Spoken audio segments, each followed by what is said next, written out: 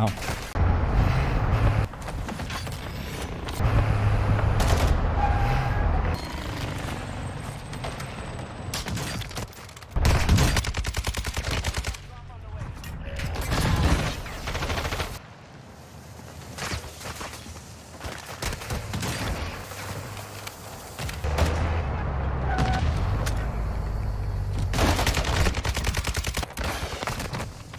Oh man.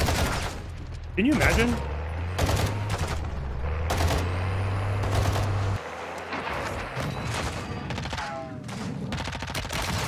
Oh my gosh.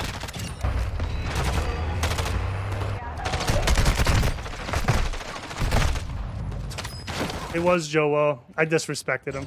I can't believe that smoke